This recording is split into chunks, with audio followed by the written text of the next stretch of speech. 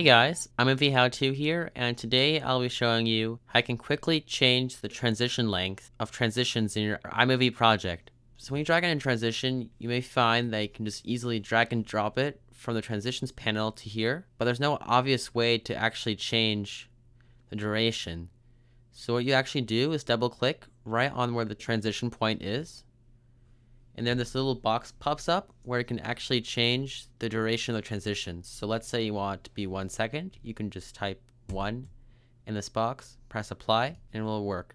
In this options box as well, there's also this other button right under the apply button. And when you press on this button, the duration you enter applies for all transitions in your project, not just the local transition right there.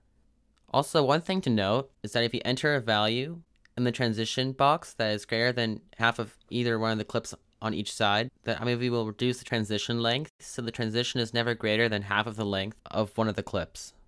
So that's basically how I can change the lengths of the transitions in iMovie.